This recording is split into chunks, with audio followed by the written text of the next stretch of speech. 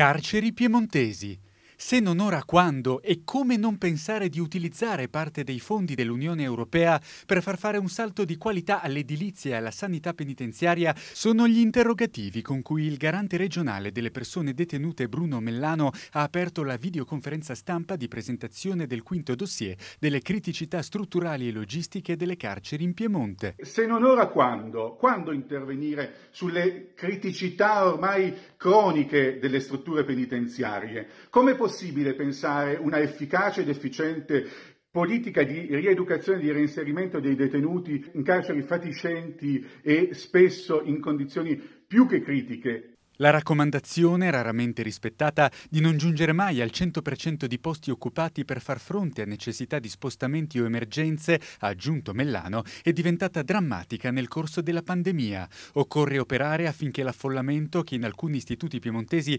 raggiunge anche il 130%, non superi il 98% della disponibilità. Il documento, elaborato dal garante regionale in collaborazione con il coordinamento piemontese dei garanti, verrà indirizzato al capo dipartimento dell'amministrazione dell'amministrazione penitenziaria Bernardo Petralia, al provveditore dell'amministrazione penitenziaria del Piemonte Pierpaolo D'Andria, al ministro di giustizia Alfonso Bonafede e ai sottosegretari di Stato Vittorio Ferraresi e Andrea Giorgis. All'evento sono intervenuti i garanti comunali di Alba, Asti, Biella, Cuneo, Ivrea, Torino e Verbania, che hanno denunciato come gli istituti carcerari siano sempre più abbandonati a se stessi e necessitino di interventi di manutenzione troppo a lungo attesi e non più rimandabili. Il coordinamento piemontese dei garanti ha anche annunciato una serie di iniziative per il 2021, tra cui l'impegno per la costituzione della rete nazionale di case famiglia protette e la realizzazione di una casa famiglia protetta per mamme detenute con bambini,